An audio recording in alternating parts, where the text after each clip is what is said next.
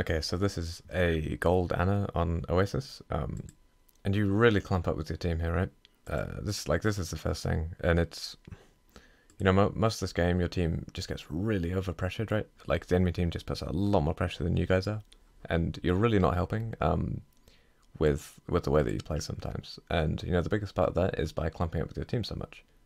So I can imagine like you start in this position here, which is which is pretty good for you because it means you have you have decent LOS, right? You're quite far back. Uh, like you can see the enemy team. Most importantly, you can see that Pharah up there. And as soon as you know they have a Pharah, you want to be you know constantly like checking, right? Like you look up, you check, you see where she is. Um, instead, you come really close, like really really close to the team, close to the front line, which makes it very difficult for you because your LOS is nowhere near as good, and you're also like so close to the front line that you're catching a load of trash damage, right? Like this Moriel appears should never really hit you, and if you are going to go for this transition, um, it's like I'd prefer if you probably stayed here at least at the start of the fight until you sort of see what's going on.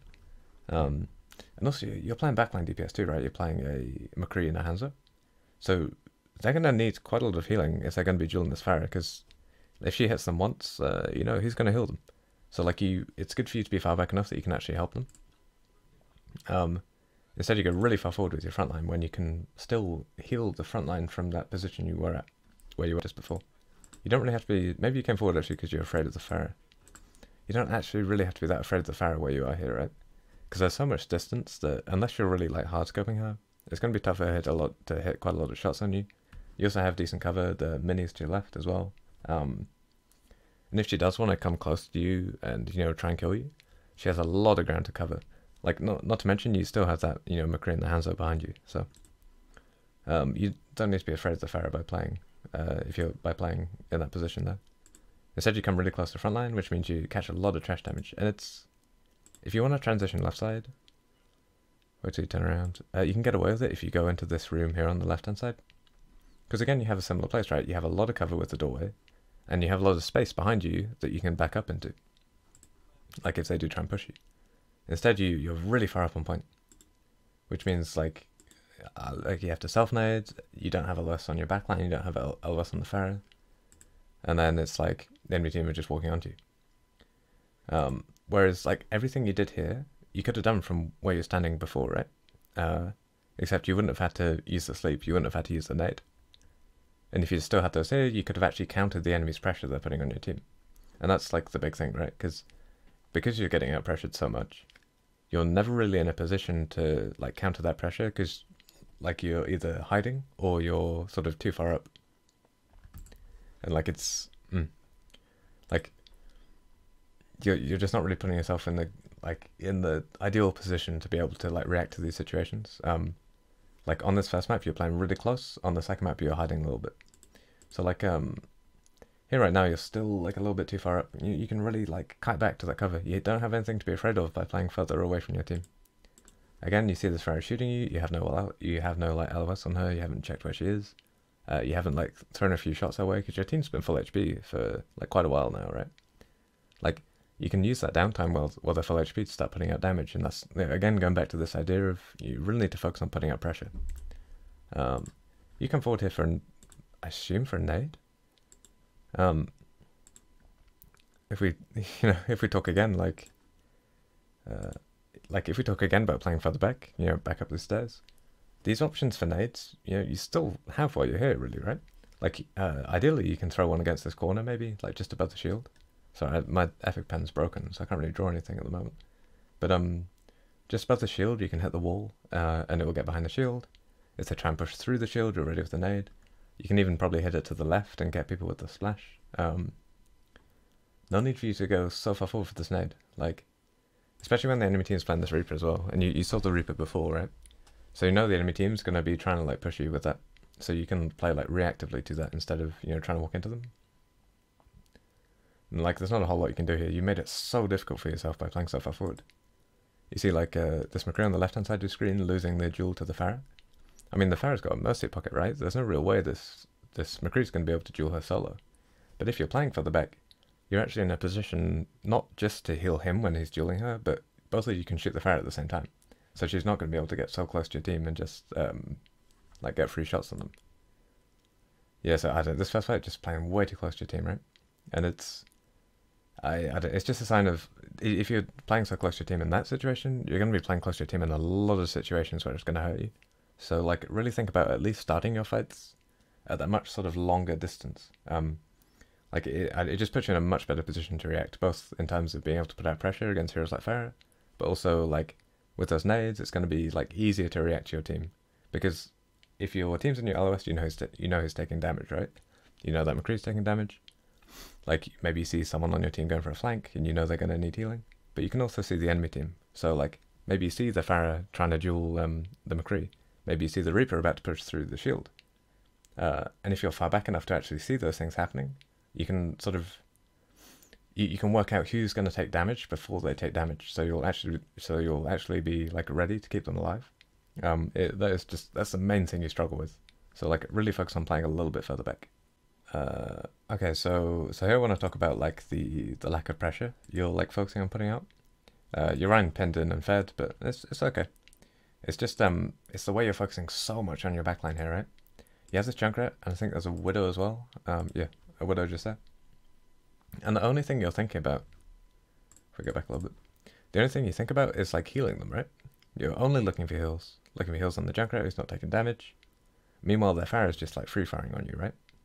Um, and you, sorry, um, and you have so much chance to to put pressure up, like mostly on the Pharah, right? Like you have cover here, you have full ammo, you can pick this Pharah, you can shoot her, but especially when you see this ball, right? This ball goes in, he goes for a pile driver. You see, you see him go for it, right? You see him get that, like, as soon as you see him, you know, go towards the enemy team like that, like you, you can tell he's going to go for a power driver, but you're not looking at him. Like you, you break LOS with him, uh, and I'm not too sure why, because it just means you're not putting out any pressure. Um, like right now, everyone on everyone on your team's full health. No one's like getting pushed. Um, so you have a lot of opportunity. Like no one, no one on your team's really going to take damage here.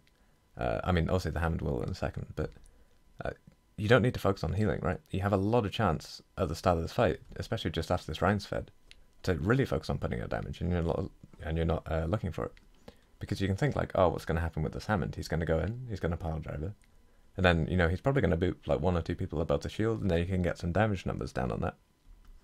Instead, uh, instead you're just hiding, right? Very very backline focus, just hiding, hiding, hiding. Um, so it's like, yeah, sure, like you're putting out heals, you know, you're keeping this Lucio alive, but it's like none of this is going to help your team win the fight because the enemy team is still putting out that pressure on you. Like it's keeping your team, you know, alive for longer, but it's not actually going to help you win the fight. Does that make sense? Um, you, if if you let the team just walk onto you and you know overwhelm you like this, you're really going to struggle. And like you, you get you'll get nice heal numbers at the end of the game, but like you will you will lose a lot of these situations. Um, it's it's just small stuff, right? Like mostly looking for damage. You have a lot of options to look for damage. You have nothing to hide from here too, right? It's not like they have backline DPS. The only person who can really hurt you at all from uh, sorry, the only person who can really hurt you at all in this situation is the Pharah. And even that, she's not really pressuring you that much. You remember you do have a widow behind you too. Um, like right now, you can see their shield's cracked. Their shield's just about to go down. Why not try and like thread a nade, like through, just as the shield's about to go down, right? Like this defensive nade, not really that necessary. Actually, was it necessary? No. The Lucio's fine. Now he needs the healing, but you could have also like slapped the Zarya maybe when, maybe when she like comes up towards you. Like y it's it's it's it's less about the actual micro of what you're doing, but more about the fact you're not looking for these options in the first place, right? And I think there's some more later on. Try and find them. I think it's here I'm thinking about with the with the Mei. Also, the other thing, your camera management in this game really wasn't ideal. Like um, you you're playing with the Morocco a lot. I know you had a Lucio too, but um, in general, you have a lot of options, a lot of downtime where your team isn't really taking damage, uh, and you you have to like use that downtime to look around, right? To you know look around a lot, keep an eye on who's going for these flanks, whether it's your team or the enemy team. Instead, you're very very focused on main, and you're not really aware of things that are happening to the side of you. Like you you get flanked by Reapers sometimes. I think this D.Va like flew like flew through on left side and is now on point behind you. Um, but even though your team doesn't you know, really needs as much attention. Like your team needs nowhere near as much attention as you're giving them, right? Like this right? Like, sure, you can nade him and poke him back, but you don't need to be peeking main and taking this coalescence damage at least. Um, but like, you have a lot of options to turn around and sort of keep refreshing, like your your idea about what's actually going on on the flanks. Um, that's something you really don't do, and you know you get flanked by reapers sometimes. Uh, like, like the Pharah like when they were playing a Pharah, she was doing whatever she wanted. Um, but it's this Mei that I was thinking about mostly. Uh, if we can like talk more about the the idea, the idea of putting out pressure, like how you're not really putting out that much pressure, you can think what's gonna like take the most pressure off your team right now. What's gonna take pressure off your team is if you can somehow get this Mei to go into ice block. If she goes into ice block, she's not going to be very confident walking onto Orion and freezing him because she doesn't have that escape ability. I know, I mean, escape, pretty much an escape ability. Like, she doesn't have that defensive option. And the easiest way for you to do that is to her, right? You can her, you can get a couple of shots on her. Even if you don't get those shots on her, she knows that going, going into ice block is going to cleanse the nade, so she's probably going to do it. Uh, and that's going to make it a lot easier for your Rein to handle frontline. But instead, like, you had an option before, you don't go for it. You have options here too. This Mei is just walking all over your Rein, and you're not responding to it. Right? Right now? Oh, she just used Ice Block to block the thing. You can easily get a nade here, right? Easily get a nade and kill this Mei. But you're so focused on healing your Rein that you're, it's, because if you throw an here, it's going to hit both of them. But it's the fact that you're not thinking, you should always think first about putting out pressure, and healing sort of secondary. Because the more you put out pressure, the less healing you have to do. Um, and it's it, it's tough to pick up moments from this VOD because you you lost every fight. I mean, you, you won a fight because uh, like the enemy screwed their ults up. They pulled their all six in one fight, and then you got like a decent riptire. But um, you lost every fight and every single fight you're looking so heavily on this healing. Going for this nade on the Rein instead of the nade on the Mei is really confusing to me.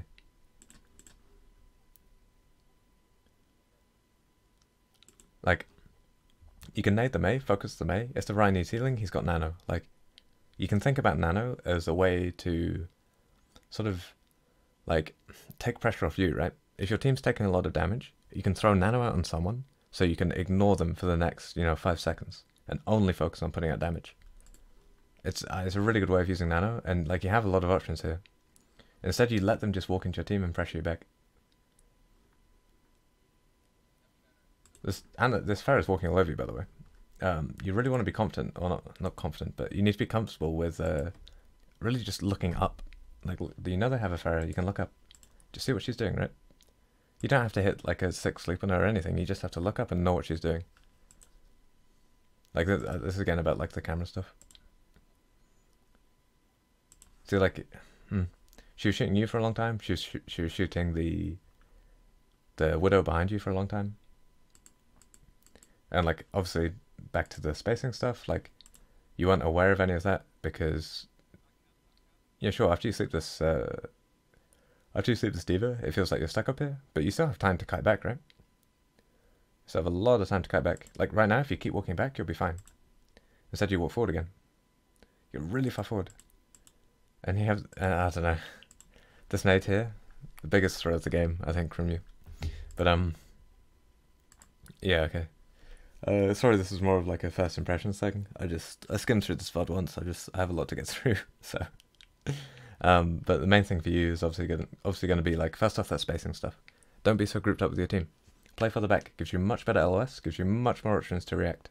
Like, especially versus a team that I can sort of understand, you know, maybe they're playing like Genji and Tracer and something, and you're you're scared of being out on the flank by yourself. But versus this comp, they have nothing, right? They have the Pharah, and that's it. Everyone else is really focused in frontline. So like you can really afford to play quite far back from your team. The other thing as well, really focus on putting out pressure. Um, nowhere near nowhere near enough pressure from you this game.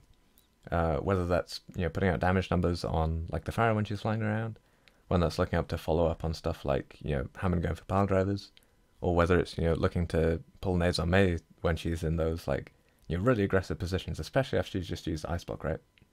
Like using nade to force ice block is good, uh, using it to secure a kill on her is even better, right? So like you really need to be looking for those situations.